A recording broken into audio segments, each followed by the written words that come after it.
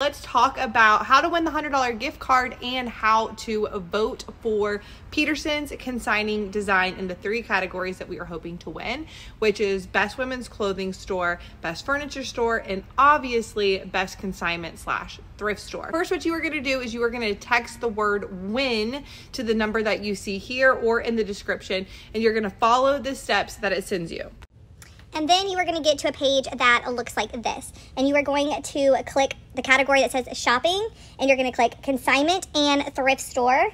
And it relocates where our store is each time. But you'll find Peterson's consigning design, and then you're going to click vote in another shopping category.